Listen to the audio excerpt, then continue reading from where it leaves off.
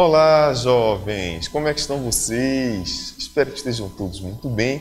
Aqui é o professor Gustavo falando e hoje nós vamos retomar então com as nossas aulas de história. E hoje nós vamos falar sobre a Grécia Antiga, as origens da democracia. Não é? É, durante a Antiguidade Clássica, foi na Grécia que surgiu esse conceito de democracia que nós utilizamos até hoje é, em países como o Brasil, Estados Unidos, Portugal, França, né? Nós elegermos os nossos representantes, tá bem?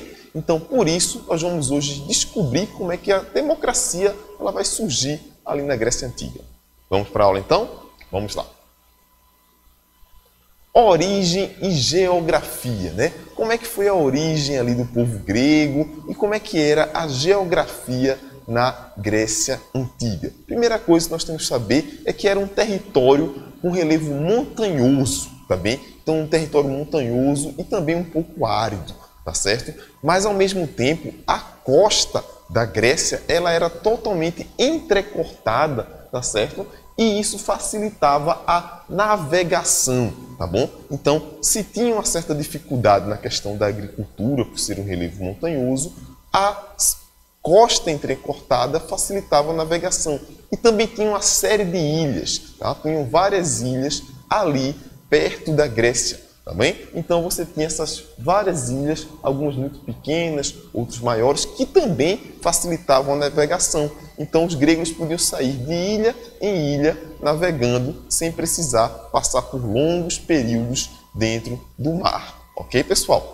Outra coisa também é o período histórico. Né? O primeiro período histórico da Grécia Antiga é o período que a gente conhece como pré-homérico, né? que vai de 2000 anos antes de Cristo a mais ou menos 1100 antes de Cristo, ok? Então esse é o primeiro período que vai se iniciar a história grega. Ele é chamado de pré-homérico porque o período seguinte é quando Homero vai escrever as obras, né? a Ilíada e a Odisseia. Tá? São grandes poemas épicos gregos, ok? Também vai ser nesse primeiro período, né, no período pré-homérico, que vão chegar ali os povos indo-europeus, né? os jônios, os aqueus, os eólios, os dórios, tá certo?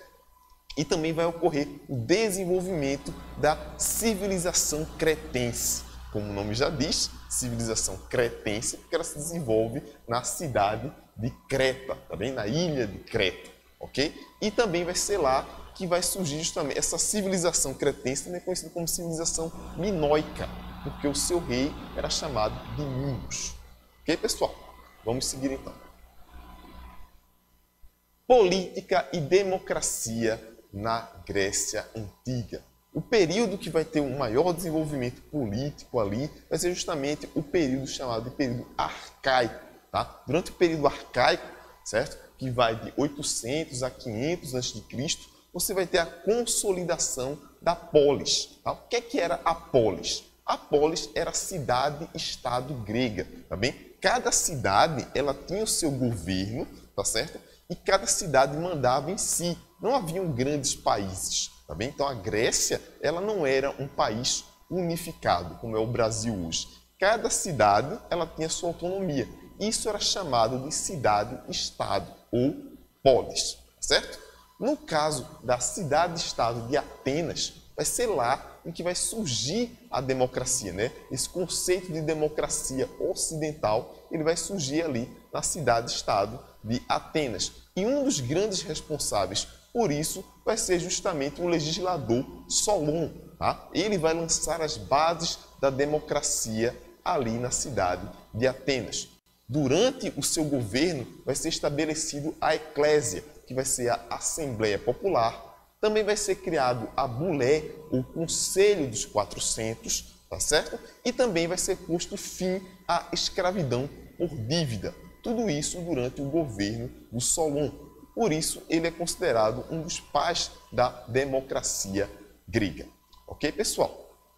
Outro fator importante é que esta democracia que havia na cidade de Atenas, ela não era plena, ela era muito diferente da democracia que temos hoje. Existiam algumas pessoas que não tinham direitos políticos. O que é, quer dizer não ter direito político? Eles não podiam votar e nem se candidatar a nenhum cargo. Quem eram essas pessoas? Ah, primeiramente, mulheres, mulheres não podiam votar, escravos também não podiam votar e estrangeiros não podiam votar. Só podia participar da política na Grécia Antiga quem fosse homem, tá certo? Nascido em Atenas, tá bom? Então você tinha que ser homem de pai e mãe atenienses, nascido em Atenas, para poder participar da vida política. Tá bem, pessoal? Essa imagem aqui é uma representação de como era a cidade de Atenas, justamente nesse período da Idade Clássica. Certo, pessoal? Vamos seguir? Atividade. Peguem aí o caderno de vocês e respondam a seguinte atividade. Faça um desenho da cidade de Atenas e depois mostre para o seu professor. Eu quero que vocês peguem aí o caderno de vocês, façam um desenho de como era a cidade de Atenas, tá certo? E depois mostre para o seu professor, tá? Pergunte a ele se aquele desenho corresponde a como seria a cidade de Atenas, né? Então ela tinha seus templos, tinha lá a, a imagem da deusa Atena, tá certo? Depois de desenhar, mostre ao seu professor e pergunte a ele se está certo. Ok, pessoal? Muito obrigado pela participação de vocês. Nos vemos na próxima aula. Fiquem com Deus e um abraço